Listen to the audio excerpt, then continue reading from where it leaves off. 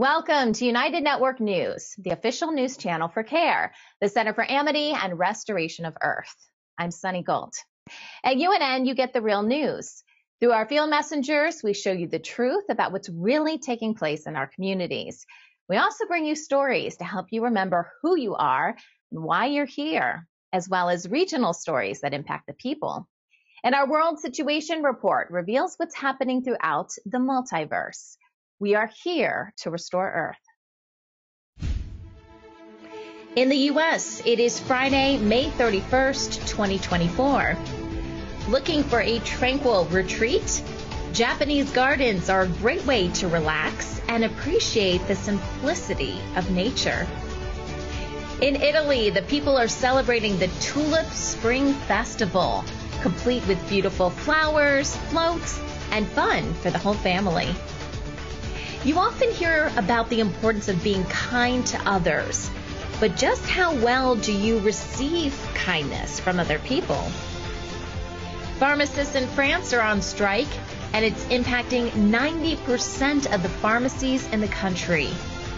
And a reported outbreak of bird flu is affecting chicken farms in the U.S. It's forcing farmers to kill off entire flocks. This is Calen Gipp, messenger for United Network News. Here's a look at today's field messenger reports from all around the world. Today we explore a Japanese garden where carefully designed beauty and harmony connects visitors with nature. UNN field messenger Claudia explains the history and cultural significance of Japanese gardens.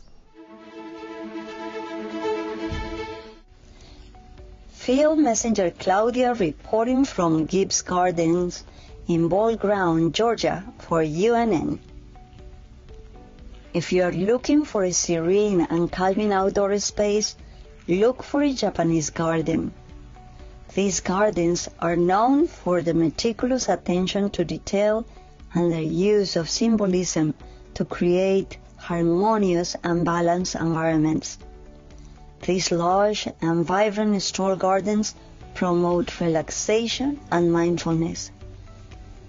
Japanese gardens combine the beauty of landscapes with elements such as rocks, water, structures, plants, and sand arranged to create a world that evokes a sense of calm and serenity. You can also find structures like pavilions, lanterns and gates. Lanterns are both functional and decorative. Japanese gardens date back to the 8th century when they were introduced in Japan by Buddhist monks. These gardens were initially created for religious purposes, but over time they became a symbol of wealth and status. Japanese gardens are also heavily influenced by the natural landscape of Japan, which is characterized by mountains, rivers, and forests. Whether you have a small backyard or a sprawling landscape, you can create a space that is not only aesthetically pleasing, but also spiritually fulfilling. I hope you enjoyed this report. Claudia Field Messenger from Dawsonville, Georgia, reporting for UNN. Thank you. Every spring, the tranquil region of Umbria, Italy, transforms into a lively hub of color and joy during the Tulip Spring Festival. UNN Field Messenger Maya brings us to the heart of this celebration. Hello, I am Amaya, reporting this time from Umbria region, Castiglione del Lago village overlooking the Trasimeno Lake. Castiglione del Lago is a picturesque little village situated on a peninsula in the Trasimeno Lake, considered the Umbrian Sea. The inhabitants celebrated this Festa del Tulipano since 1956. The whole village is decorated with tulip flowers to win an award for most beautiful tulip arrangement. There are to be found brass bands, processions, and games of nobles and the common people in historical costumes. This event usually lasts five to seven days. On Sunday, the festival culminates into a big procession with decorated floats covered with thousands of tulip petals arranged painstakingly into artistic compositions.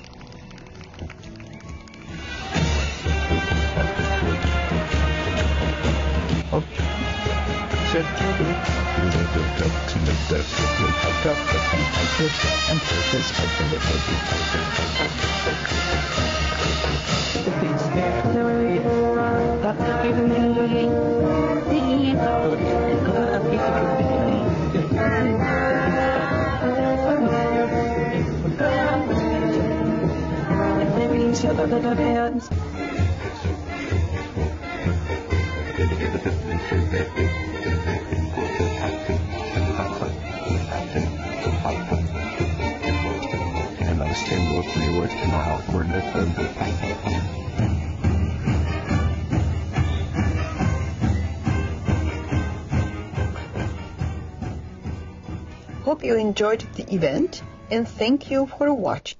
We want you to become a UNN field messenger. These are everyday people just like you who want to make a difference in their community. You don't need any special training or equipment. Just use the camera on your mobile phone and show us what's happening in your area. You send us your videos and our production team will create the report for you. Our new website is now up and running at unitednetwork.earth.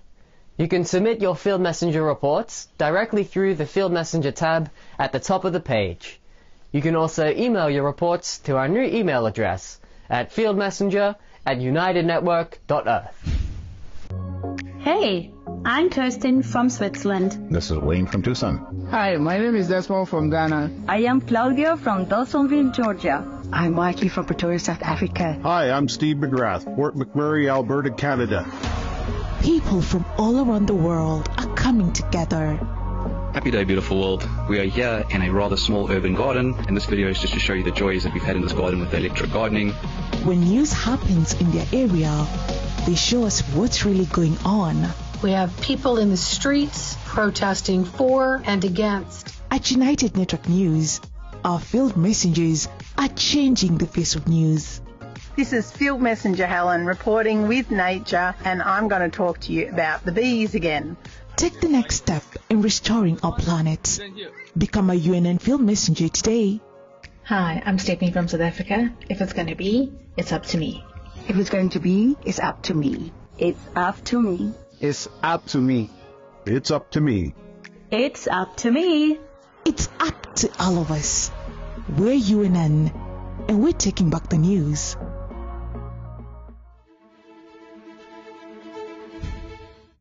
Kindness is crucial in the new earth. Being kind to others is important, but learning how to receive kindness can sometimes be challenging. Lindsay Andriotti helps inspire people to lead the restoration of our planet. She calls these people imaginals. Okay, Lindsay is back with us and we're talking about kindness. And Lindsay, we've talked about the four pillars of kindness. So being kind to yourself, being kind to other people. And today, this is really important too. We're talking about receiving kindness from other people because sometimes this is an awkward thing for people mm-hmm. and we don't really feel comfortable like you're being nice to me or you know, oh, you're you're showing me kindness like sometimes we don't know how to react to that. So true. Sunny, this is one of my favorite ones. And it's probably the one that I end up coaching and helping people through the most because we're not taught how to receive with grace a kind thought, a kind experience, uh, some gesture. We often are thinking, we deflect, we turn others away, we tell them, in our own heads, I'm not worthy of that. I can't accept this. You know, we do so much to tell people not to be kind to us that it becomes almost unfortunate because we miss out on so many things that are really meant to help fill our cup as well. So, a great example is when someone pays you a compliment. Yes. Depending on who it's coming from, I like to use an example. What if it's a family member? Okay. You usually trust your family members to tell you the truth, and you usually don't think that they want something from you other than, you know, I just wanted to tell you this. imagine how many times during a day or week or month that you actually deflect one of your kids or your husband saying, Mom, I love your hair. It's so pretty. Mm-hmm. And you go, oh, thanks, I had it done yesterday or whatever. right? Yeah. Instead, yeah. Of, instead of, oh, thank you. What do you like about it? Or if you don't even have the time for that, just what are you seeing? I'd love to hear more. Uh-huh. Receive it, take it in. They meant to tell you how beautiful or whatever they wanted to share in that moment. And we often try to cut it off as fast yeah. as we can. Mm-hmm. And, oh, yeah, okay, thanks. Or we tell a story. So that's one. The second aspect of doing it with grace is being able to receive eye to eye. You know, mm. so someone may say something to you like, I really want to help you with that project. And you think to yourself, no way, they don't want to do this. You know, you close your eyes, you think, you do something. You're making up a story about what it is that they're wanting versus they just said what they wanted. Yeah. The more you can receive, eye to eye, face to face, whether it's electronically or in person, always better in person so you can feel the energy of it, mm-hmm. You will receive a gift. Just not only of the energy, but of that connection between two people that says, I see you. And it's it's powerful stuff. It is yeah. elixir. Yeah. So learning to do it with grace is is a, a really important skill and one that we should start to perfect. Yeah. And I feel like we should be teaching this to our kids at an early age too. You're using that example of, oh, your hair looks nice. I remember when I was, I think I was in high school and my mom's friend paid me a compliment about my hair. Oh, I hmm. really like, you know, the way your hair looks today or something like this. And the first thing I did was come back at her with, oh, something negative. Yeah. Oh, I tried to do this, but it didn't really work out. But, You know, something like that.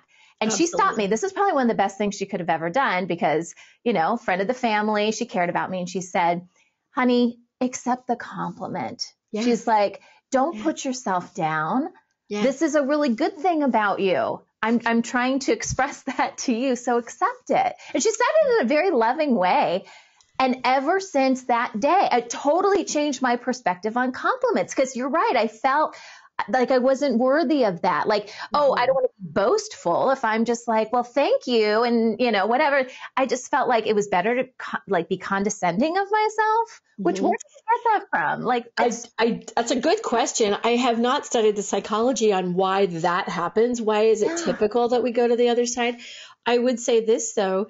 One other thing, you know, compliments are one thing, and generally the the kindest thing you can do in return is just say thank you. I appreciate yeah. that. That's it. Yeah talking about another way that people are kind, sometimes we need support or help. Something happens, we're needing, I don't know, a friend to bring us a meal because a family member's gone sick or whatever. It's in those moments that it's especially important to say, Thank you. I would appreciate your help because mm. so many people do reach out and say, Oh, I'd love to be in service. How can I bring, you know, what does your family need? We know this has happened. How can we be of service?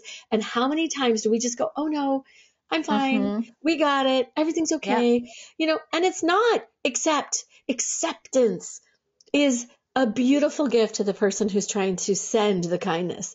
Kindness is an infinity symbol. So yeah. we give it, we receive it. We give it, we receive it nothing is worse than lopping off that infinity symbol. Mm. Nothing is worse. And so you have to be able to accept and receive and give and receive. And the better we get at the receiving part, the better the giving gets. It's amazing. Yeah. Empathy is a profound ability that enriches our social lives by allowing us to understand and share others' feelings. Research has shown that empathy isn't just a natural trait, but can be cultivated through social interactions. Positive empathy supports cooperation and enhances teamwork, making it especially valuable in professional settings. Research, research, indicates we are born with empathy, which likely evolved for child rearing and community collaboration. Factors like financial stress and poor health can impact empathy, and shared interests and experiences can enhance it. Tools like the Random App of Kindness offers games that help users practice reading emotions and responding appropriately. Empathy can be developed and is crucial for building healthy relationships with one another through shared experiences. Innovative approaches to mental health are changing lives in Central Africa with Strong Minds, a community based initiative led primarily by women. Departing from traditional mental health care, Strong Minds empowers local non professional volunteers to lead group therapy sessions. This interpersonal approach identifies triggers like life changes or social conflicts that contribute to depression and trauma. Participants share experiences and brainstorm coping strategies during six weeks of sessions. Volunteers, often former participants, receive training to facilitate sessions and treatment. This model helps dismantle the stigma around mental health. It shows individuals how to open up and share with their peers who often have had similar experiences. Since its inception in 2013, Strong Minds has treated more than half a million individuals.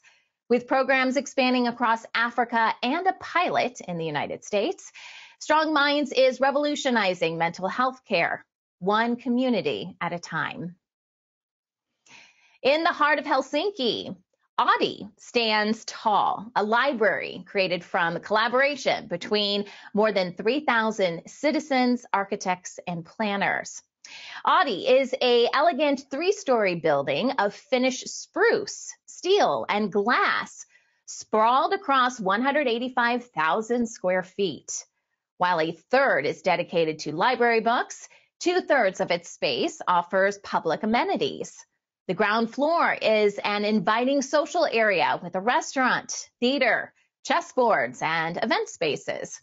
The second floor is for creative workspaces, game rooms, and high-tech tools like 3D printers, laser cutters, and digital wood sculpting. The top floor, bathed in natural light from circular skylights, welcomes you with cozy reading spaces and invites you to enjoy the panoramic terrace outside. Oodi isn't just a library, it is a testament to civic pride. Helsinki citizens can rightfully claim this as their own and show what can be achieved when a community comes together.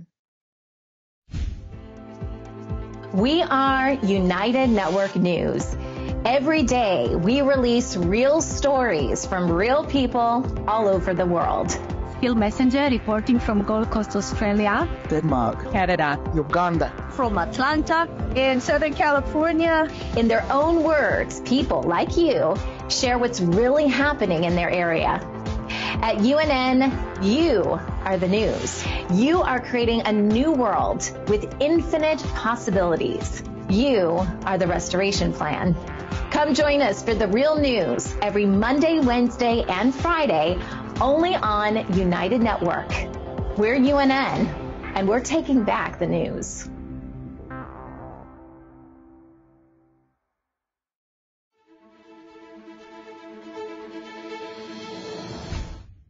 In France, about 90% of pharmacies have closed in protest, leaving some regions without operational pharmacies for the day. Healthcare professionals are concerned about more than just pay and conditions. Issues include drug shortages, rural pharmacy closures, and training reforms. Unions are demanding higher pay to offset rising inflation and will meet with the National Health Insurance Authority next week. The protests also feature demonstrations in many towns and a march in Paris from the pharmacy school to the economy ministry. A major issue is the potential government plan to facilitate online sales of over-the-counter medications. Officials assure pharmacists' monopoly on drug sales will remain intact and large supermarkets and online giants like Amazon won't gain access to medication sales. About 550 short-term prisoners in Scotland will be released early, beginning in late June, to ease prison overcrowding. The Scottish government is calling this move unprecedented and necessary for the safety and well-being of both staff and inmates.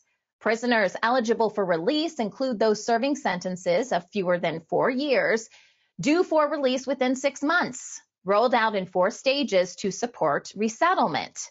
Life sentences, sex offenders, and those with domestic abuse convictions are excluded. This move has been met with criticism from opposing parties, opposition parties, with some attributing it to the failure to modernize the prison estate. Victim support organizations will be informed about release dates upon request, acknowledging concerns victims may have. Other measure, measures include electronically monitored bail and a future bill to end under 18 imprisonment. Germany is launching a new work permit called the Opportunity Card on June 1st, 2024, aimed at attracting skilled workers. This initiative allows non-EU citizens to live in Germany for up to a year while searching for a job addressing the country's shortage of around 400,000 skilled employees annually in fields like engineering, IT, and healthcare. The card lets holders work part time and undertake trial jobs, smoothing the transition to full time employment and longer term residency. Applicants need at least two years of vocational training or a relevant university degree proficiency in German or English, and enough funds to cover their stay. A point system evaluates candidates based on qualifications, experience, language skills, age, and more. Interested people can apply at the German consulate or a local foreigners registration office.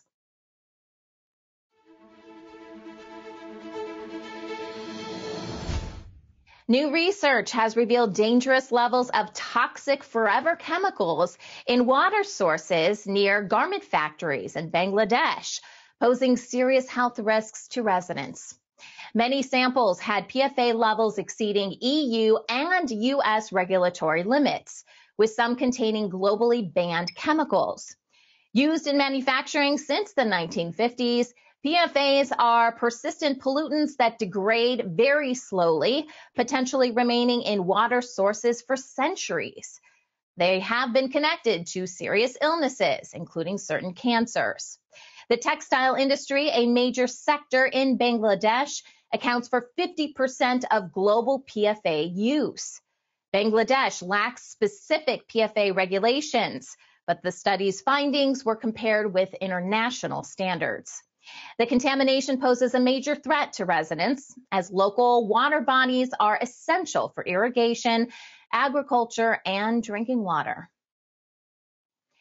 The recent relaxation of hotel regulations in China is expected to impact both tourists and local businesses significantly. Authorities have eased restrictions, allowing all hotels to accept foreign guests, which previously was limited to only select establishments. This change aims to boost tourism revenue by offering more affordable accommodation options to foreign visitors. Hotel staff are now required to gather detailed information from foreigners, including passport scans and visa details, instead of turning them away. The relaxation includes an extension of visa free travel to several European countries until the end of 2025 and easier payment options via local e-wallets. These measures follow calls from Chinese leadership for visitors to experience the real China, countering negative international perceptions. Illegal fishing in Cambodia is creating a dangerous situation for local fishers. Authorities have identified Cambodian ports as the origin of trawlers responsible for extensive marine life destruction. Enforcement by the Fisheries Administration is weak, with trawlers often operating undeterred in protected waters. Trawler operators, though aware of conservation zones, admitted to continued activity in these areas due to insufficient patrols and enforcement, particularly at night. Many fishers report the widespread bribery of fishery administration officials to avoid penalties, severely undermining regulations. This activity is destroying fish stocks, leaving many fishers impoverished as they struggle to compete with the well-financed illegal operations. The situation is dire as confrontations between small-scale fishers and trawlers often end in tragedy, with lives lost in the struggle for dwindling resources.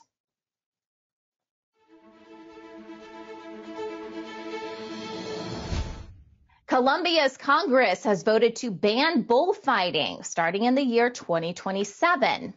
The ban follows extensive lobbying by animal rights groups who claim bullfighting is a brutal practice rooted in colonialism. Despite its historical recognition as a cultural tradition, some cities have already implemented restrictions. The ban has significant implications for areas where bullfighting remains popular. It will affect tens of thousands of workers employed directly or indirectly by the bullfighting industry. The government will need to find alternative employment for these individuals and identify new uses for bullfighting arenas.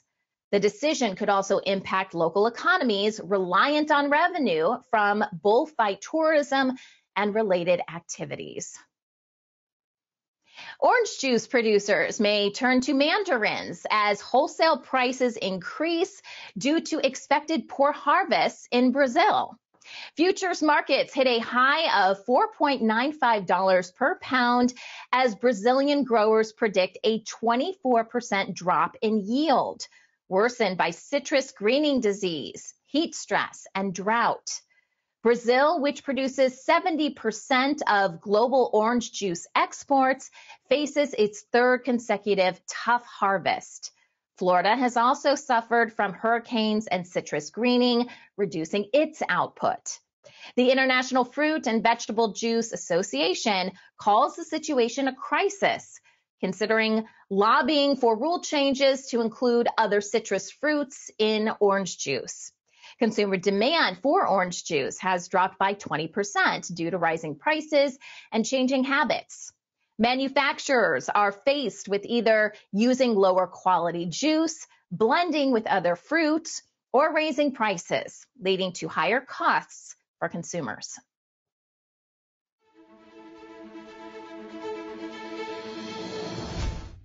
A reform to introduce a licensing plan for tobacco retailers in Victoria, Australia is expected by Christmas time.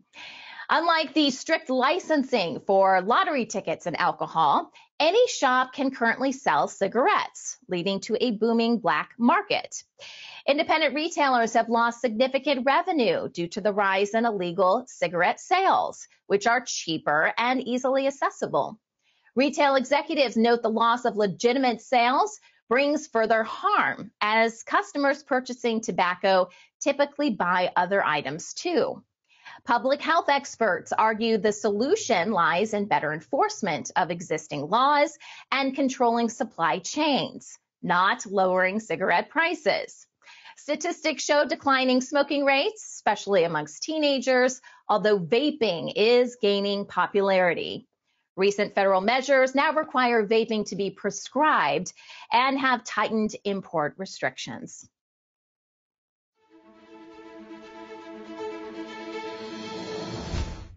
A new report shows 25% of Americans are using buy now, pay later programs, with one in three using them for necessities. Usage of these programs surged tenfold during the pandemic, leading to new rules requiring consumer protections similar to those for credit cards. While credit cards often carry high interest rates, buy now, pay later programs typically split payments into installments without interest. However, these services could lead to increased debt as they don't require credit checks, making it easier for people to spend beyond their means.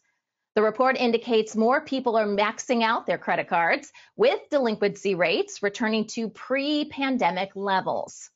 Credit card debt is rising again after a pandemic dip driven by economic stimulus payments that had helped many catch up on their finances. The U.S. Supreme Court has revived the National Rifle Association, or NRA's, lawsuit against former New York State official Maria Vullo. The lawsuit accuses Vullo of coercing financial institutions to cut ties with the gun rights group. The ruling highlights the First Amendment, warning officials against using their power to punish free speech. The National Rifle Association, which claims Vullo's actions retaliated against its advocacy following a 2018 school shooting, seeks monetary damages.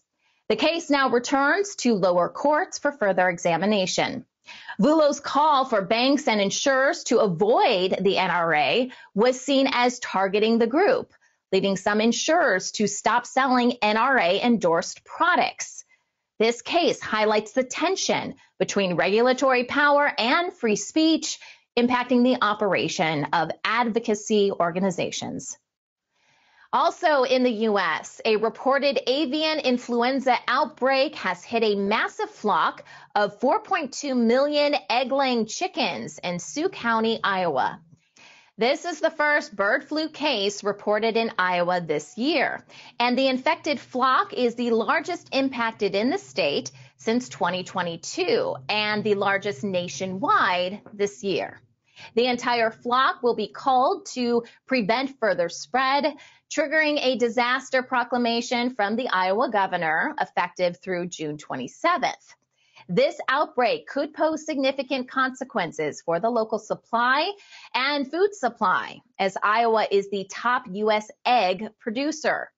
Residents and businesses reliant on egg production face economic distress, rising egg prices, and potential job losses.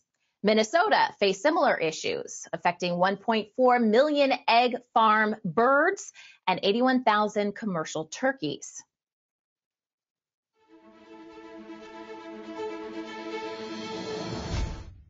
Egypt has significantly increased the price of subsidized bread to allocate more funds to essential services.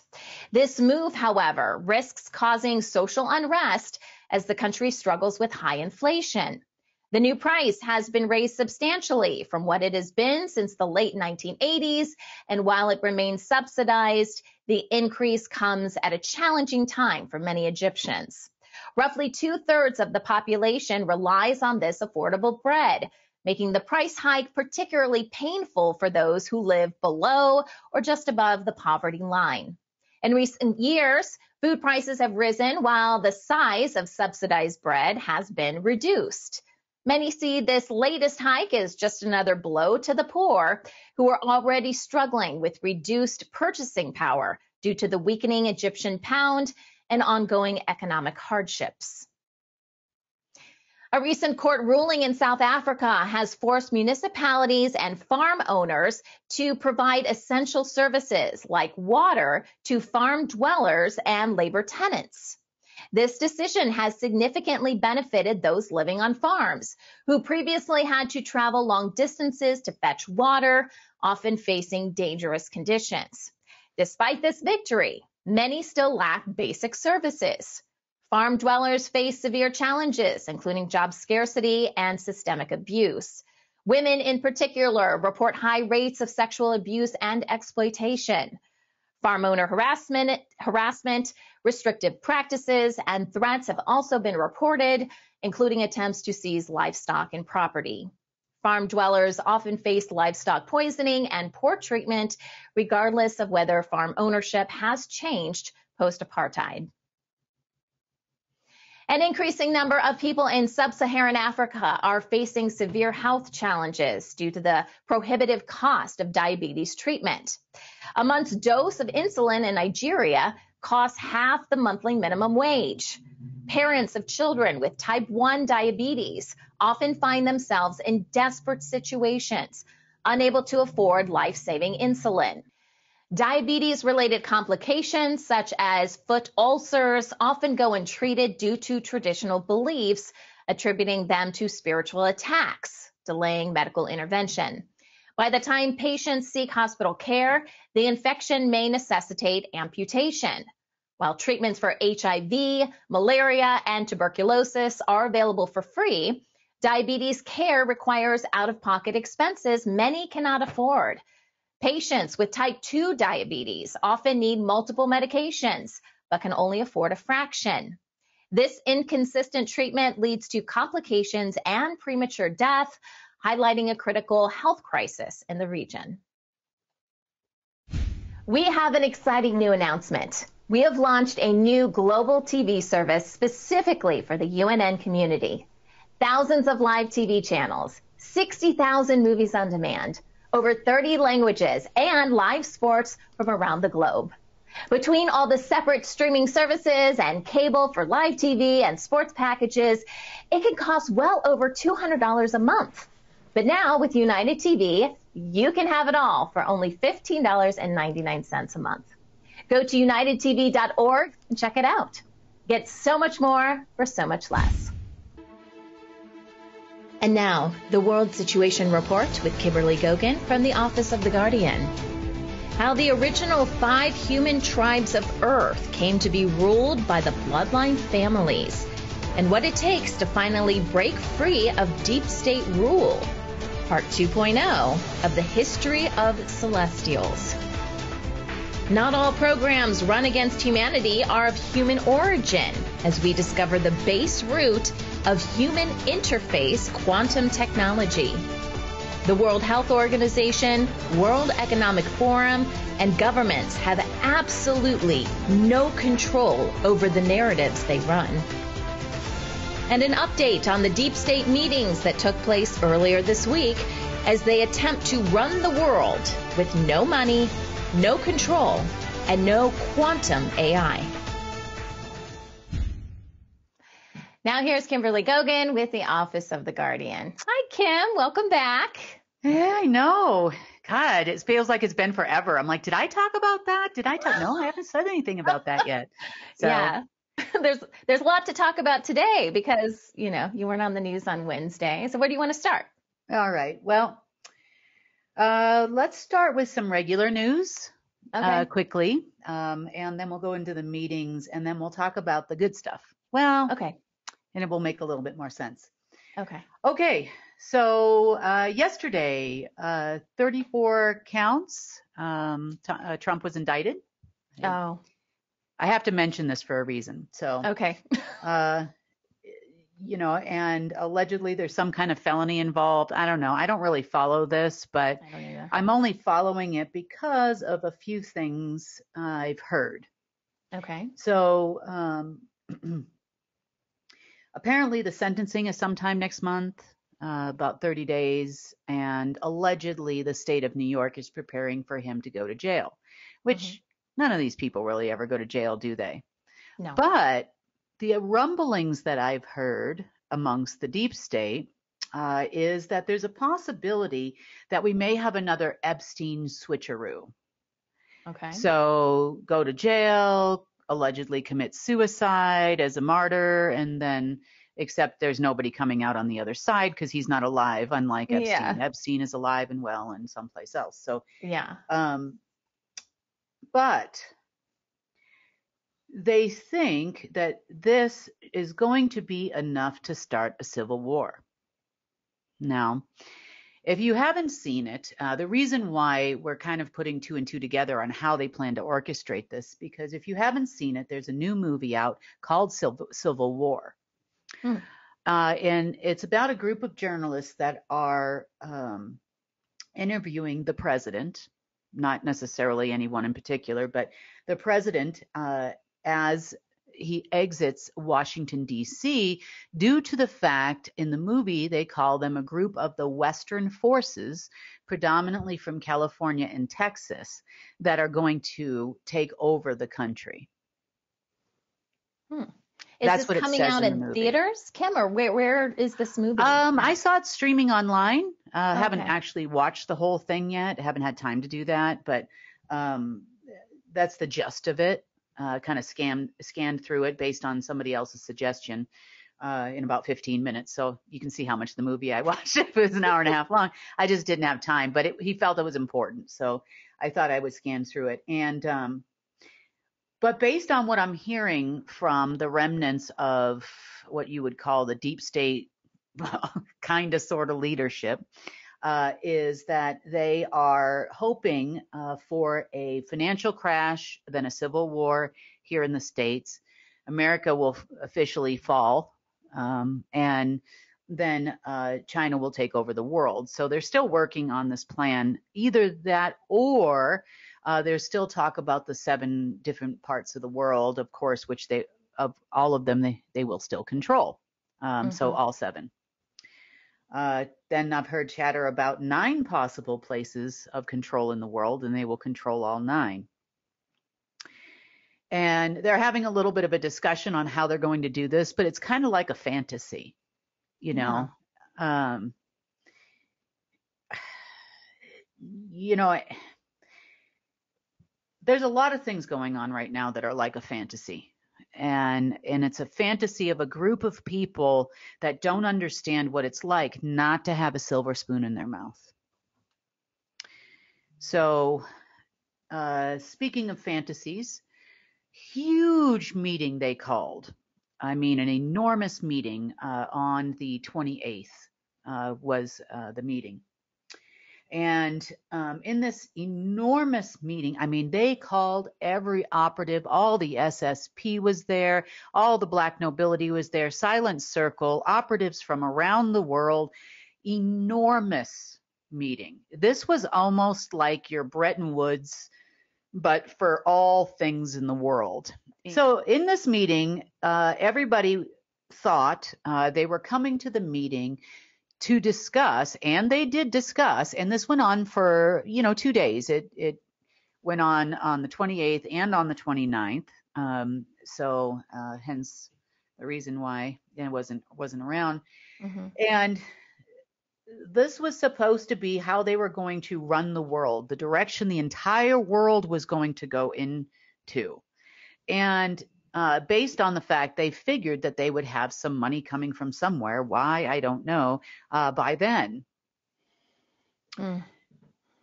Well, turns out a lot of this was tied to some old information that they had regarding uh, celestials and the different colors of tribes. And we'll get to that in a minute. Uh, so, uh, they have also figured out that they did not have what they thought they had since then. But then they came to the second half of the meeting and basically told everybody that nothing was, we, they need another week. Uh, something happened with their systems, like it was theirs in the first place, and um, something happened with their systems, and that they were going to need another week or so to sort that out before everybody got paid you know, so surprising, really. I mean, just a total shocker. Yeah. So uh, this was late Wednesday and again um, on early Thursday. Well, by Thursday, everybody started getting really upset. Um, Thursday morning, it was early, an early meeting. And the comments uh, that were made when they were backed into a corner was, and I want to thank the deep state for this. You know, they say, I want to thank my parents when you win like a Grammy or something. You know, I want to thank the deep state. they actually told them that I am responsible for messing up their systems. So that's why they need a little more time. Okay. That's they actually, actually said my name and that I am responsible. And you know what? They're right. I am. That's the first bit of truth I've ever heard come out of these people's yeah. mouth. But it gave me an enormous amount of street cred. Yes, it did. So I'm like, yes. so uh, everybody was very upset that they would not get an update for at least a week uh, after this uh, conversation took place. So they scheduled a call actually for 7 a.m. Mountain Standard Time today with everyone, all of these people that came to the How We're Going to Dominate the World meeting. And wouldn't you know it? The only ones that showed up were Langley Five, the global headquarters people, and the Silent Circle and Black Nobility people. Nobody else showed up. So it was supposed to be like all the the people that came to that really big meeting, or yes, all those people militaries were back? involved yeah, militaries Okay. and intelligence agencies and everything from all over the world to get contracts and hear about the new narrative of world domination and plans. So, for the first time ever, though, this morning, no governments showed up, no militaries showed up, no operatives showed up. The lead, alleged leaderships are the only ones that showed up. Usually it was the other way around, Yeah, it's true. hmm but no one showed up. What do you think that means? Hmm, I don't know. This just happened this morning. Yeah. But I will tell you this much. For an hour later, there was another meeting scheduled between all of them. To which by they went into this education. Uh, last I looked, which was about 10, 15 minutes ago, uh, they were looking at um, uh, now doing a Q&A.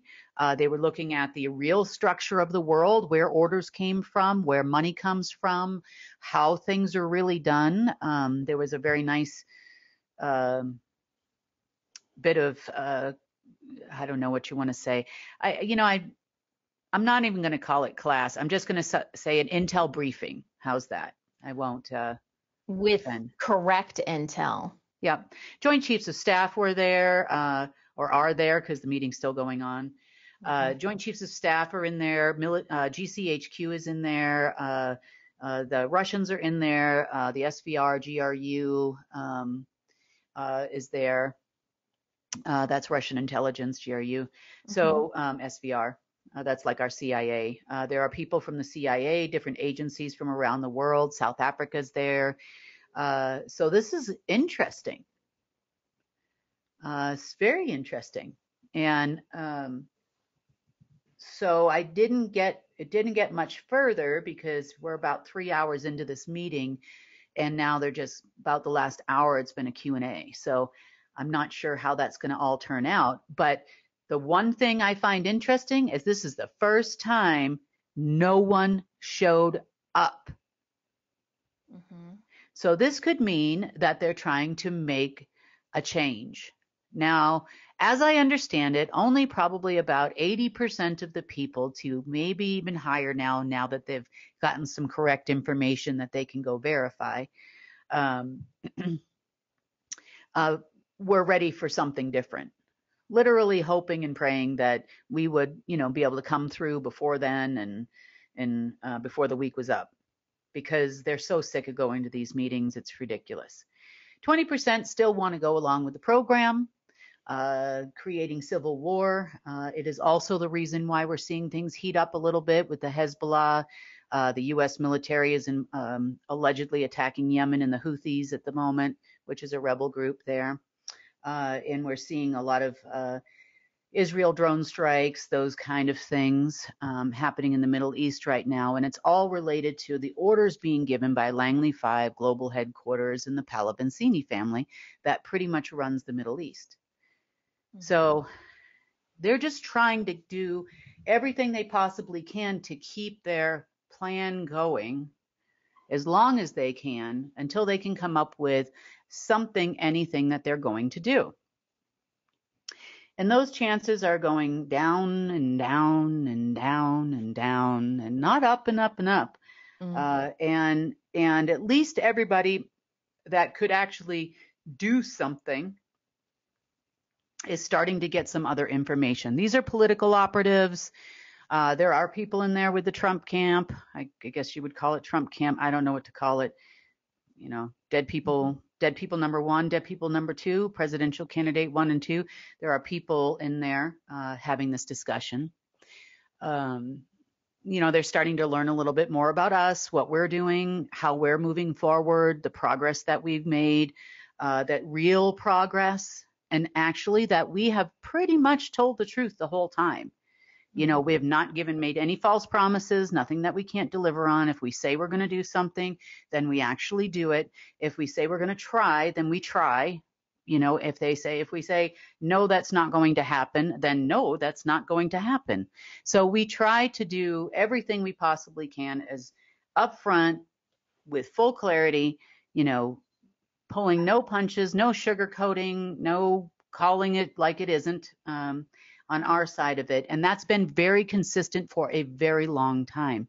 You know, you remember, I mean, I've been here since 2017. Mm-hmm. That's an awful long time of being consistent as far as these people are concerned, and the information's getting out there. You know, I I really have no life, you know, as far as anything else I do here. But, you know, as far as that is concerned, um, you know, it's it's something that you can absolutely count on. Um, so that's a positive. So we'll see what ends up happening over the weekend. I anticipate this is not going to be a one day meeting. I anticipate that these meetings probably will go on for a couple of days.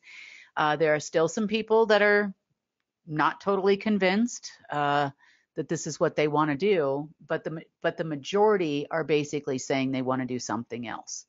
Well, we don't need everybody on board, right? If that 20% wanted to do something else, as nefarious as it might be, does that really matter to us from our perspective?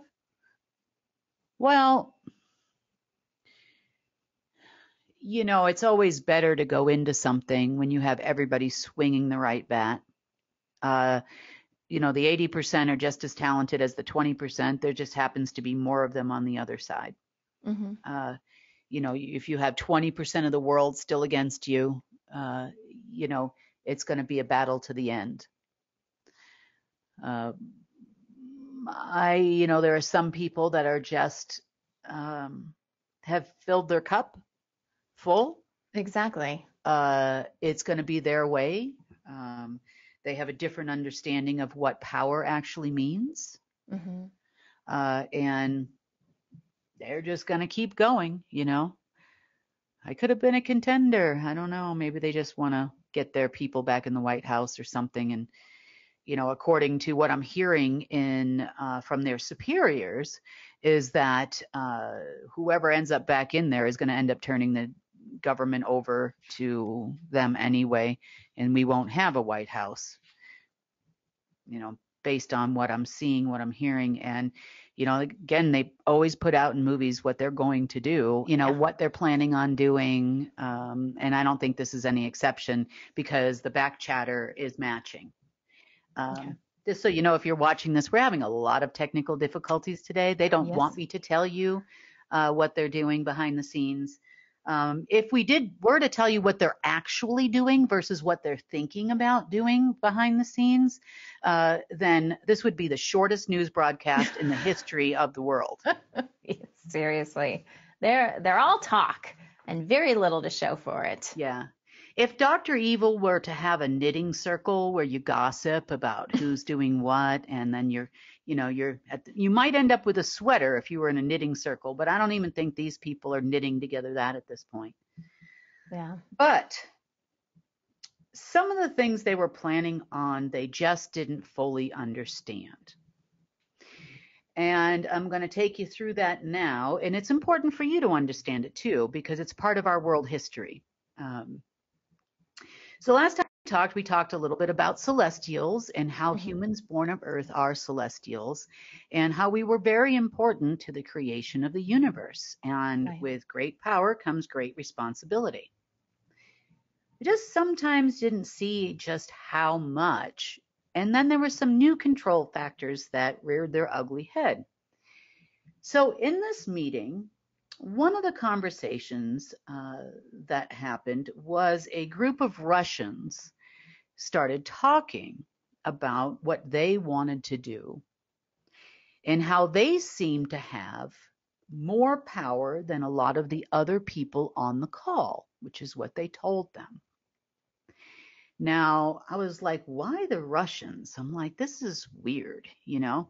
Mm-hmm. So you had both the Order of the Red Dragon Russians there, and you also had the Order of the White Dragon there, which are part Russian, part German. Mm-hmm. And um, you also had the respective eagles. Um, you know, there's currently no one taking the position of black eagle at the moment, but there are there are those that represent, and then you have white eagle. And so they were all there, and they were claiming that they had a lot of power and that they were going to go ahead and pull some financial system trigger. So I was like, financial system trigger? What the? heck is it that you're going to do? So, you know, I started watching. Mm-hmm. And something interesting I, I saw.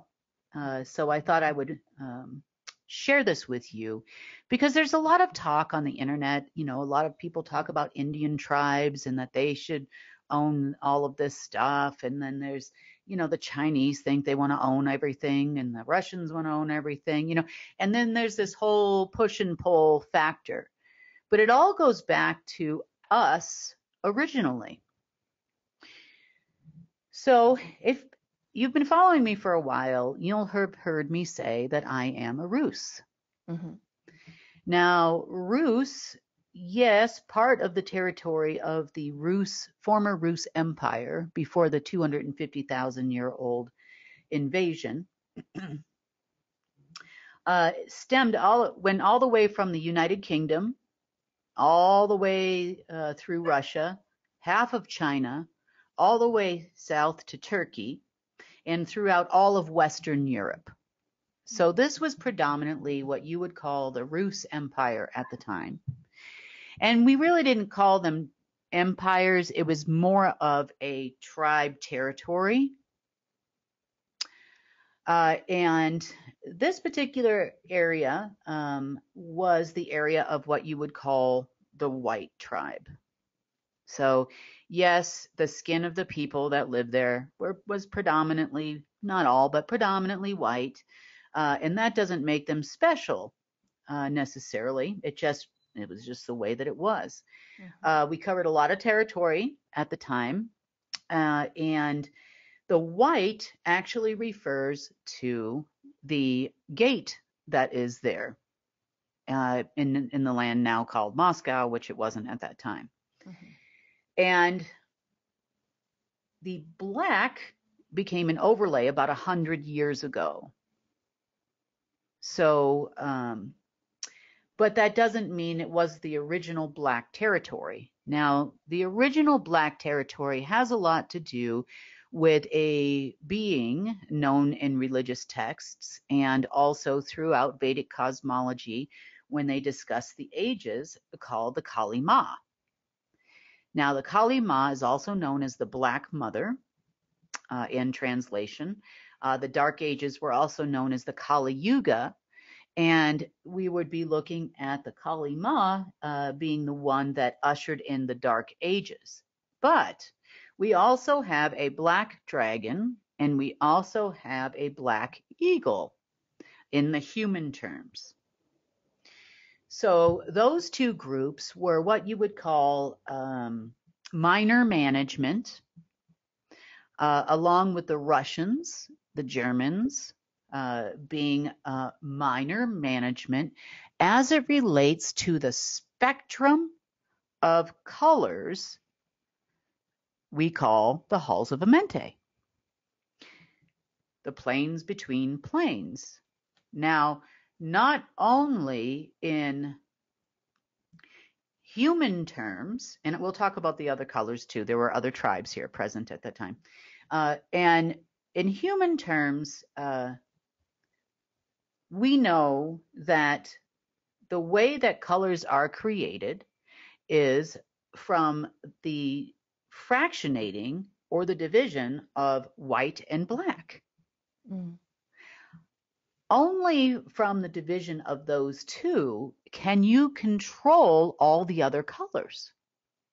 Hence the reason why the top of the food chain would be white or black. Now, this has nothing to do with the color of your skin, so please don't take this the wrong way if you're not either one of these. That does this is just the way that the planet was structured at that time. Mm-hmm. Now, the black territory would actually extend all the way through southern China, throughout the oceanic region, and the entire African continent. So that's it. You know, it obviously continents looked a little different back then, uh, but uh, that whole region uh, would have been considered black. Uh, and then if you are brown, you would have uh, inhabited the Middle Eastern area uh, in northern Africa and um, an equally large area, uh, basically in comparison. It would go a lot farther no- north than it does today, uh, what you would consider the Middle East. uh, is up for debate. Probably the northern, good one third of the African northern part of the African continent uh, belonged to the brown at the time. Yellow, that's a given. Uh, certain parts of Asia, uh, extending all the way from India through to China, so it was a smaller area. Uh, and uh, the red would be North America and South America. So the world being divided by colored, but we really weren't divided at the time. We all traded together. We all got along just fine. We were just all basically doing our jobs. So, And- Kim, what would the point be then? Maybe you're going to explain this, but Mhm. why divide us up into tribes? What's the purpose? Well,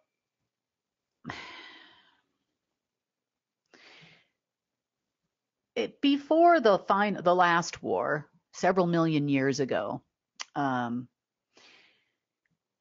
it was about keeping balance and peace on Earth. See, because celestials and humans weren't originally from Earth. You know, you've often heard we were brought here as human beings, and there's a definitive reason for that. And it happened many millions of years ago uh, that we were brought here. Now, Earth, for a long time, even before the Saurians were here, was an uninhabited planet. And it wasn't necessary for it to be inhabited because it was basically a piece of source out here co creating with source and populating the universes, both dark and light. Mm-hmm. Then, when we ventured into the dark ages and the wars after wars after wars between the different races, uh, eventually, anti source had more, had taken basically Earth away from source. Therefore, predominantly, not entirely, uh, it was taken away about 79% of its power and connection to source was taken away. Therefore, in order to have a co creative universe, you still needed to have power here on Earth. Hence the reason why they actually brought humans here in the first place. The colors of humans at the time originally represented different densities of creation.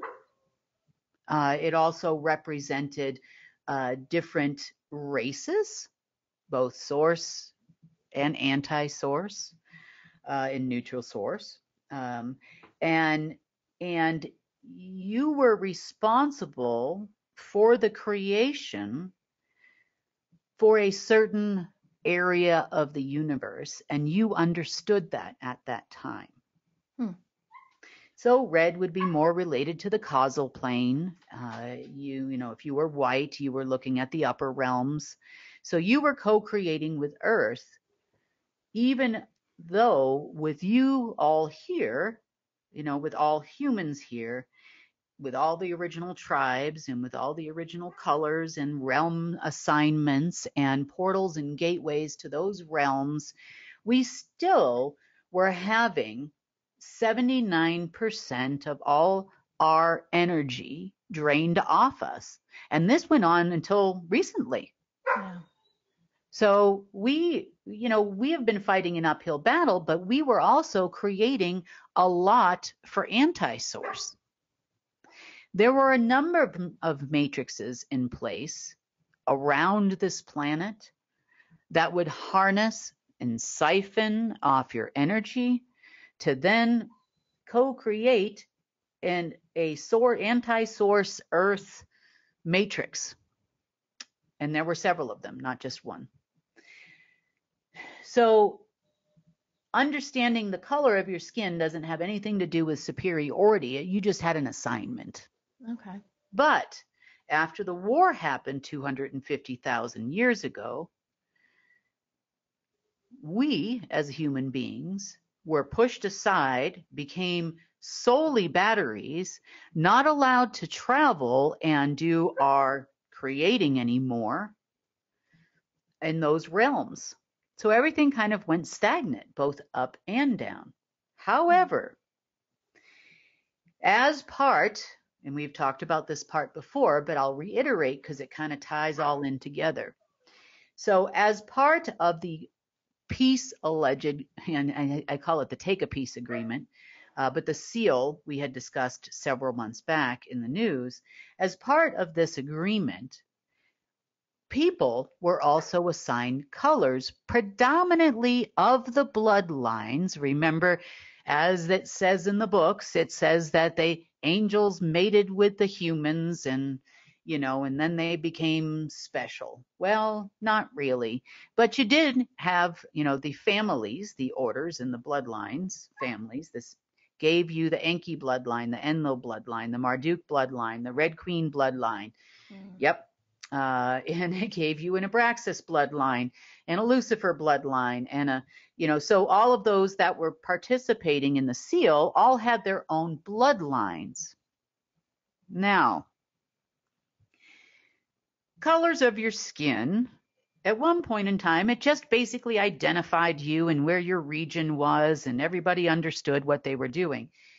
Then it got morphed into control systems with the birth of the Emerald Order Covenant, which then birthed the Halls of Amenti, which then allowed for a separation of colors fractionated in between the planes of existence to give them more control over all us batteries.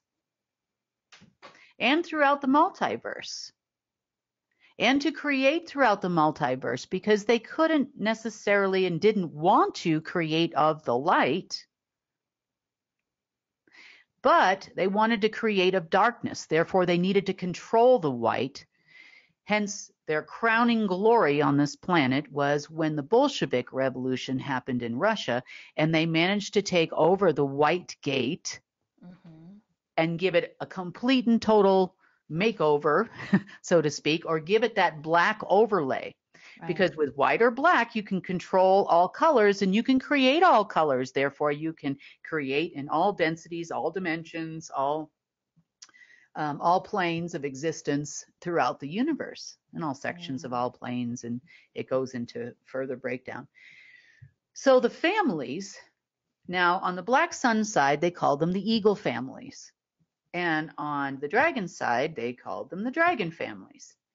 Now, these are two different types of bloodlines, and both would work together, but each one had a white eagle and a white dragon, a silver eagle and a silver dragon. So those families were from particular regions and it identified them as to which planes, not only in computers that they could control, but also throughout the multiverse.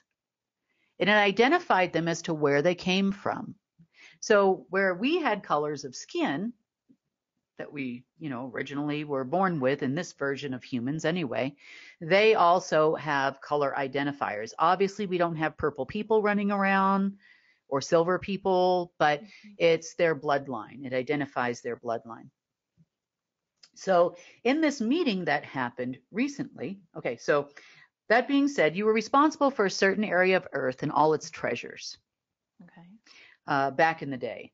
Then, when the bloodline and the seal was put in place, all of your families were pushed aside as human beings, and those you're a descendant of, and they took all of your treasures, and the families took them over, at least the management of those treasures.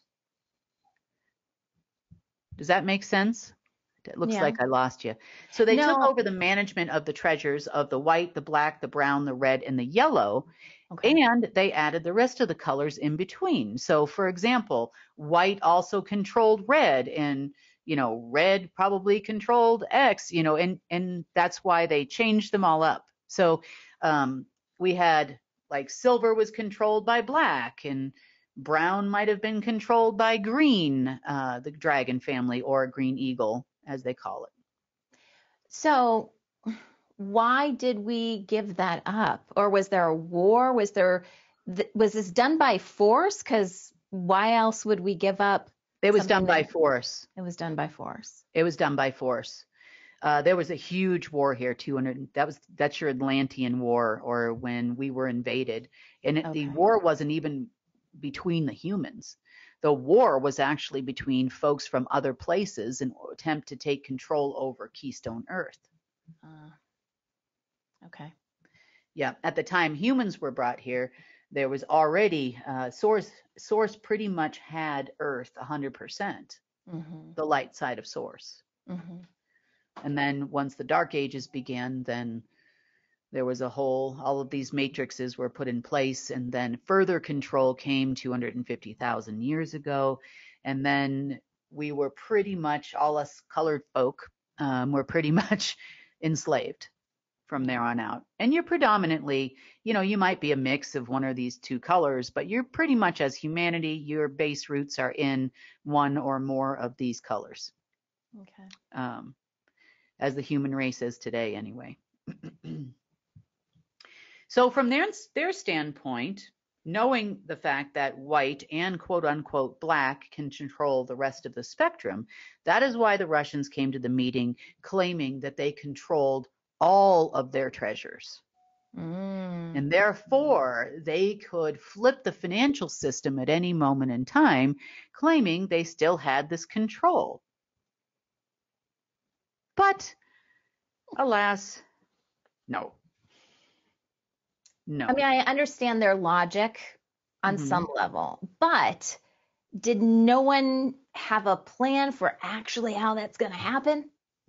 and if they could do that, why didn't they do that a long time ago? Well, exactly. It's like uh, you win the lottery and you don't tell anybody. And you put the ticket in your drawer, you know, or in a safe place in a safe, and you hold on to it. And you're like, but I won the lottery. Maybe you're not ready to cash it in. Maybe you don't want to tell anybody yet. You're not sure how to handle it, whatever. But you always think you have a lottery ticket or or an ace in the hole, so to speak. Yeah. And you don't. And then imagine one day you go to try to cash in that ticket, and and it expired. and it it expired, or you didn't have the winning numbers after all. That would be a bad day. Wah, wah, wah. That was a bad day. Yeah. It was a bad day for them on Wednesday. Trust me, that was a bad day. So they actually did try to trip the figure, the the trigger, uh, later on Wednesday afternoon, uh, and the Russians have figured out they're not in control. Hmm. Now, talk a little bit about more about what's happening with Russia.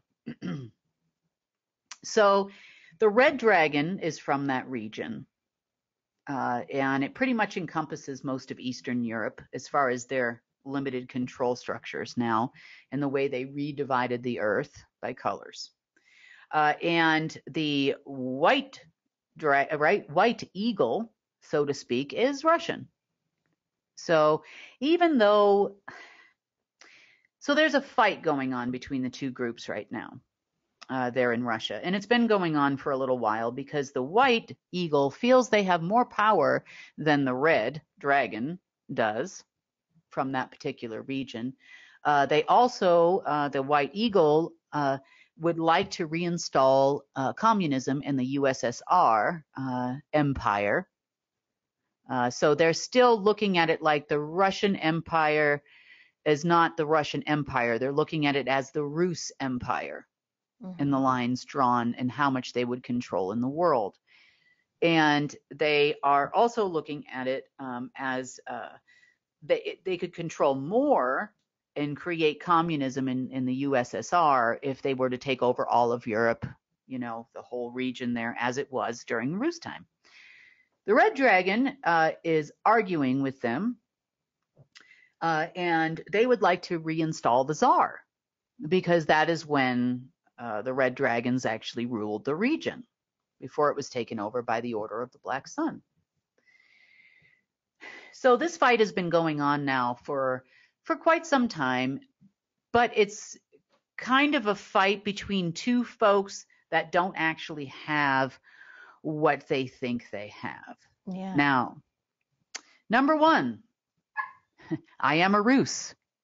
I am more Rus than all of you people, which means that technically that is my gate that you're claiming ownership of and my treasures that you're claiming ownership of.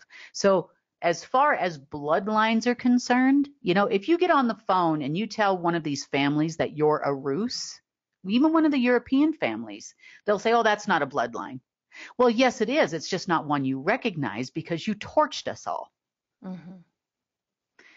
But as of Wednesday evening, congratulations, all of you white, black, brown, red, and yellow people that are listening to this call because you now have your treasures back as the human race. So they have no legal binding whatsoever to any of this part anymore. So what what happened to, you know, cause that to Well, happen? they were officially basically at this moment in time they've officially been notified. Okay. They have no claim whatsoever to anything that they're claiming to control, nor its governments. And this, I believe, is a part of what set off the meetings today. Mm. Because even governments are realizing they are not, those people are not in control of their land anymore because the notices went out and they went out to the archivists and the archivists notified governments, militaries, and for the first time ever, some of those people listened hmm. and they paid attention. So the notification going out that they're not in control anymore of these regions and of the treasures of that region was huge, a huge change. Now, we have taken control of the minerals, we have taken control of the assets, but the realization of that was an important step forward for humanity. Now, what comes of it? I don't know. It's yet to be seen because all of this is happening in real time as I'm talking to you in the last 48 hours. So, big changes there. But another hurdle to cross. So, in the course of making sure there was nothing left in the computer system of these families, uh, spectrum control returned to source meaning there's no more black required to make colors than the colors that you see on your planet around here. Uh, and as the siphons of energy and everything had been taken off, uh, as you know, uh, we've already talked about that. Uh, and we are gaining more and more of our celestial powers back, which is a positive for all of us. We now, um, you know, there's a lot of things that make sense in this to me too um, you know, or at least American history, and and not only American history, you know, throughout the world. You know, everybody talks about the white, white, white, white, white, right? There was the whole Nazi movement. If you're not white, you're not right, mm-hmm. kind of thing. Um, the beating down of like you know the black race and the back of the bus and Rosa Parks and all this kind of stuff and you start to think about all of this when you put it into relation or, or you make it all relative right so what would have happened if the black race took back black and I'm not saying black people are evil. Everybody remember we're all here of source, right? We're all yeah. doing the source thing at the time, which was a tri- trinary source. So um, nobody's right and nobody's wrong. But imagine it, how much power they would have. Yeah. And it makes sense to me why we keep having these color wars too. And everybody's got labels and you know whether it's a religious label or it's a it's a color label and you know a black man in the news, you know, shot a so and so person. And why aren't they just Jim? You know, mm-hmm. why you know if their name is Jim or whatever, why aren't they just call them Jim? But the color wars is a real thing, and it went back pretty deep. And then what would happen if you took back control of your colors? Mm-hmm. You know, and therefore your realms and your gates, the ones that you protected um, all of this time. Can you see why it's so scary for these people? Sure. It never made real sense to me. I'm like, where are they going with this? You know, until yesterday. Uh, sorry, Wednesday night um, into yesterday, when I really started to take a look at why all the color wars. Now, to further control the human race into creating in the way, because remember, the families are trying to do something with darkness and they're trying to adhere to this anti source matrix and they're controlling colors in a negative way whereas we use them in a positive way before as all the races of Earth. Um, I know you probably watched the last news, Sunny, like five times, and then I was did, like, actually. and now I'm doing it again to you, and I'm so sorry. now I have my weekend homework. No, I just kidding. okay. So, what was born thereafter, and this is what allowed anti source so much control over humans. And then, of course, they're little tiny, way down the food chain human beings we call the Order of the Dragon and the Black Sun, although they think very highly of themselves. I mean, if mm-hmm. these people, uh, if their actual physical body were representative of their ego, there'd be no room on this planet for anything else because their ego is so huge they would be like, they would make Godzilla look tiny, you know, like teeny tiny little ant because they're enormous. But anyway, they're really, you know, crazy people. Well, the introduction also came around that time of what we call human interface technology. And this is something that was used in a lot of different ways in a lot of events we we remember throughout history. Now, human interface technology does two things. it allows for quantum AI systems, dark and light, uh, in neutral, uh, to interface with humans. Mm-hmm. That also includes the interface that you have, for example, with your banking institution. It allows for that energy to then flow through and turn into matter and actually show up in your bank account. So there's one thing that we encountered, but it was like a going down a an ant hole. You see the little tiny hole and you think, "Oh, let's just fix this interface in the financial system and we'll be all good." We'll stop any other interfaces and then replace it with the light system because we're trying to integrate the light system and actually get rid of any remnants of alpha now. Um, okay. So interesting um, technology this is. Uh, this also allowed for um, a learning technology which was tied to the growth rate of development as well. Uh, it's called a GAN. Uh, it's used in current like chatbot GPT, you know, all of the popular ones too, um, uh, that would learn the web, learn the internet, learn the terms, and it would start giving you better and better answers over time. Well, in the quantum world, that's a whole nother story. Uh, it monitors essence, energy, your responses to things, your spending habits, all these types of things. And it would have been tied to Agenda 2030, or mm. originally Agenda 2020, and it keeps getting pushed off. Uh, it also uh, learns uh, the human body uh, and talks about which diseases to proliferate, when uh, to proliferate them, uh, draining of energy, uh, powering of its resources, um, interfacing with the human through your technologies. Uh, and the human version that we were all so scared of called Echelon, you know, and there was a movie about the Snowden movie uh, talked about Echelon, if you've never heard of it. You know, and we were thinking, oh my God, we're being monitored all over the place. Ah, you know, censorship, ah, fact checking, you know, and that made you panic. Well, you haven't seen nothing till you've seen human interface technology uh, as it related to the Omega system in quantum AI. Uh, it could control your bodily functions through mm. your cell phone, uh, through your car, uh, through your technology, through any kind of electronic technology on the planet it would interface with you. Uh, it would also have underlying what I call pheromones. Uh, pheromones are made are things that uh, humans emit, you know, in the regular people world, uh, that uh, elicit a reaction from you. So that could be a love reaction, a chemistry. They say you have chemistry with another person, mm-hmm. Uh, that kind of reaction. Um, you know, and it also tells you when your kids are in danger. You know, there's a, a different pheromone allegedly that is released you know, when humans are sick, uh, it's also something that is released unbeknownst to yourself. You actually, to like, for example, a dog, you know, someone with a very keen sense of smell, you smell sick. Um, you know, and therefore your pet might give you a little extra attention or something like that.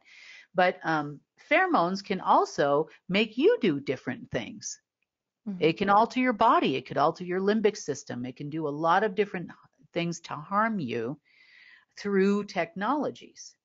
So the interface here was incredibly um, important to understand from the amount of manipulation that not the dumb humans walking the planet, and by dumb, I'm not referring to you, I'm referring to the deep state and their gossip circles that they have every day. Yeah. I'm referring to non-human control over human beings in order to influence the creation and proliferation of the earth human anti-source matrix. I mean, we were used in so many ways. It's incredible to me. I mean, I would be here for three, four, five hours, maybe even five days. And I will put out my notes so that if for those of you that want to take the time to really, you know, look at all the different types of human fa- interface technologies there are, but part of this human interface technology was also the release of viruses and pandemics and all kinds of things throughout history as well. So, um, how does the deep state know there's going to be potentially another pandemic or a bird flu pandemic or another strain of this or a strain of that? It's the human interface technology. Now, they don't have the ability to utilize it to release any kind of pandemic any longer. Um, however, they still would have had in the past some limited ability to read it and to see what standing orders were coming up and then to react and act accordingly. And then where would the orders have come from? Is it anti-source would have no the, the GAN, the GAN.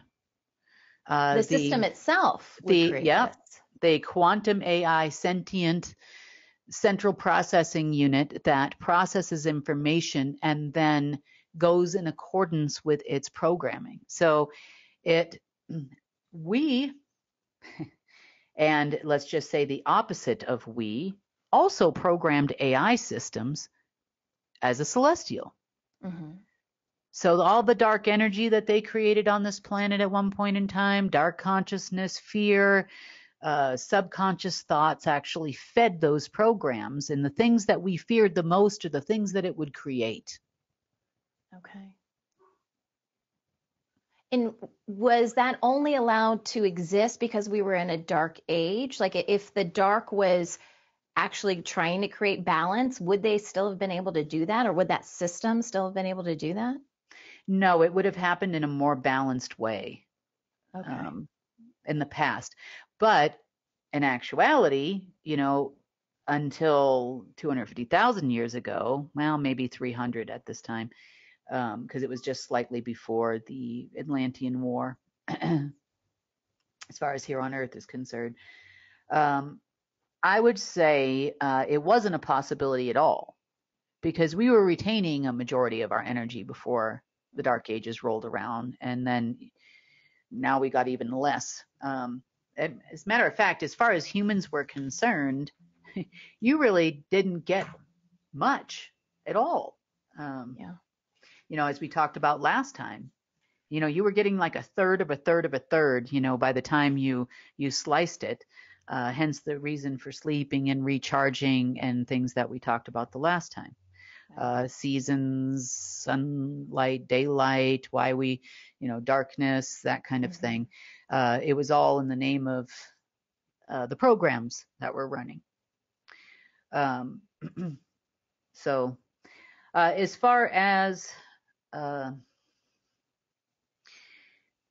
celestial status is concerned of yourselves, uh, we are entering into definite new territory uh, with the lack of spectrum control. uh, on their side of it, the realization of that, uh, the influence that could potentially have over governments, militaries, uh, which is what we're seeing now. Everybody's trying to figure out who runs what. Mm-hmm. Um, and uh, the ability to, again, um, have those gateways is a little ways off, uh, where we'll be participating uh, on a different level here. Uh, by the time it's all said and done, um, Earth will will end up being the co-creator with Source, and it won't be your responsibility anymore. Although you still have the capacity to do those things, but then you're free to roam about the cabin as well. Uh, Meaning so, the universe? yeah, you're free to roam about the cabin. Um, okay. yeah. Uh, so it, we have a lot of positive things happening on our side. Uh, the interface technology, uh, some of it we are taking over, some of it we're just getting rid of. And what I mean by that is there's no reason for us to uh, have a disease implementation program. Uh. But we would, however, like to have the interface with full interface uh, of the new of the light system, the new system uh, from last week with all of your technologies. I think that would be behoove us in in a positive way. Uh, so we are we are definitely uh, working on that integration feverishly for the last three or four days. Um, so yeah, uh, positive things on our side. Uh, maybe the government will stop trying to kill us. What has the reaction, Kim, been to this new light system, whatever we're calling it, light system? Um, from the deep state because they ha- they understand that something has changed, right? Oh yeah, they fully get it. They fully get it. But remember, they always thought that they can control everything. You know, yeah. so they're the white and the black and the brown and the red and the yellow and the green and the purple and the gray. Um, so they're all the colors, you know. Yeah. So we can control we can control this new system too. You know, Okay. Uh, that's what it is in their mind. So they don't give you credit for starting the system. They don't realize that. No, remember they told them actually in the beginning it was their system. Right. Okay. Yeah. Everything is theirs. You know, but they have no idea is... how it works or anything. no, they didn't know how it worked or anything like that. So there's that. Um, but so um, yeah, they did try to claim it was theirs, and then then of course, you know, it finally got to too many questions over too much time, too many smart operatives playing operative games with these people, trying to get real answers that they already know the answer to, but just getting them to actually admit it. And finally they came out with it that I messed it up. I messed it up. messed it up. Yeah. yeah, I'm the one that has created the delay and the disruptions in the system. So they need a little bit more time to fix it. But what street cred I just got. Yeah, well, that's true. You know, the entire deep state has said, I have messed up their system. Thank you, guys. It's a badge you know? of honor, really. Yeah, it's a badge of honor, really. you know, what do they say? You know a person by their enemies, and wow, you yeah. know, definitely sent shockwaves throughout the world. That and the fact that it has become well known that none of the colored eagles nor any of the colored dragons have any control over the treasures, quote unquote, treasures of Earth anymore. So the colors don't mean anything anymore, basically. No. I mean, I'd like to get a tan in the summertime. You know? I might like might, might like to be a different shade. You know, if I stay yeah. out in the sun too long, I could be a different shade. You know. Maybe not the red color. I don't know that you want to be red. yeah, that would hurt. That'd we had that with camera malfunctions already. I did red. That's true. Remember that? we couldn't figure out why the camera kept doing it. So, yeah. No, I'm definitely about the same color as you, Sunny, and on any yeah. given day. Right now, it's uh, the, elevation here is so high, so the sun is so strong. So you could wear number whatever you want, sunscreen, sunblock, and my skin is still going to turn brown. Yeah. So, yeah. not a whole lot I can do about that. but um, yeah, so definitely getting a little bit of color. I don't get out much these days, but when I do, doesn't so take long you started to mention the the process and how things are going with the light system taking mm-hmm. over any remnants of of alpha. Uh, do you have a timeline, or you know, as far as I know. Mike's laughing in my ear right now when I say, "Do you have a timeline? Come on, Kim." Yeah. I wish or I timeline, did. time, whatever. Yeah, I wish I did. Um, you know, I the I think the human interface technology uh, that we have now reprogrammed and taken over uh, is going very well. Um, uh, we are getting definitely more of an interface. Uh, you know, the matrix breakdown also needs to happen. Um, so we're doing that as well. Uh, the finishing off of those matrices uh, for the different colors and the and the uh, not that we have the those in between the planes anymore, but still there's still computer matrices that we need to get rid of um, and stuff like that. So honestly, um, I don't know. Yeah. I mean, I'm hoping I'm hoping it's very soon, but I won't make any promises that I can't deliver on. So I can't I can't I can't do that. Yeah. But I can tell you that um, it looks good. I mean, it definitely looks better. We've had to reprogram the way money is issued. Uh, that was one another thing as well, because remember we were adhering to an old an old way of doing things.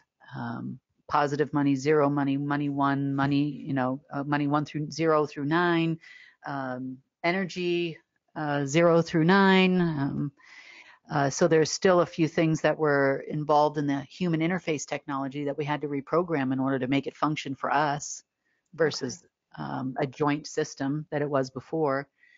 Uh, so taking over a technology doesn't take that long. Reprogramming a technology is a you've got to find all the nuances that made it a dual technology. Um, taking And out then- all the bad ones.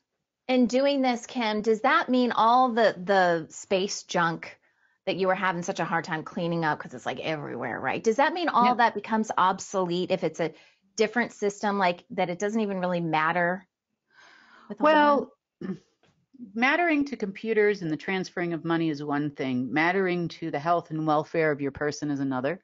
Mm. So um, if we do find anything else, uh, we definitely clean it up for sure. Sure. Uh, if it comes up as an issue, um, understanding uh, the separation uh, between in the flipping of colors in their control, and I don't mean just color of skin. I mean I'm talking about spectrum here, spectrum Mhm. control, spectral controls. Um, I think is an is an important factor. Uh, understanding your your jobs and your as a celestial, where you were from, where you need to be um, eventually at some point in the future, and which gates are your gates and future trades and travel and all of those types of things. I think is important. Um, but I I would definitely say, um, as it relates to the spectrum controls, uh, there was definitely some junk that was interfering along with that human interface technology. Mm. So, you know, like the Wuhans of the world and the Northrop Grummans of the world are only relevant uh, because they possess a technology that can interface with the Omega system through the human interface technology. Uh, they Right. can connect their Neuralinks uh, through one of those colors in some of those systems. That's important to know. Um, you know, how the deep state does what they do. And the thing I will consistently stress, um, you know, if I were to say anything to these people that are losing their mind right now, is that I know they think they had power. I know that they were told from a young age that they are special in a special bloodline. I know they don't recognize any of our light bloodlines, and I understand that. Um, but you always got orders from someplace else. And if you didn't follow those orders, your human interface technology would not function. You were given money to follow orders and directions and instructions. Yeah. We, on the other hand, you know, I guess you could say we do as well, but we do directly from the source and not some alien race somewhere. Mhm. You know, uh,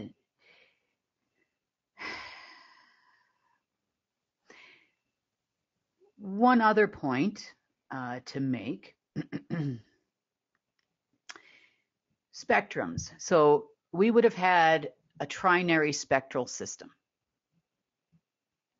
which means that light would, was created with both anti-source, neutral source, and source. Mm-hmm. Both, all three parties had light and had spectrums of colors that were under their control and therefore their bloodline control at one point in time. With the changeover of the spectral system, pretty much all light is now controlled by source. Are we going to need to have multiple colors throughout the universe? Control? We need color. We we won't see anything if we don't have color.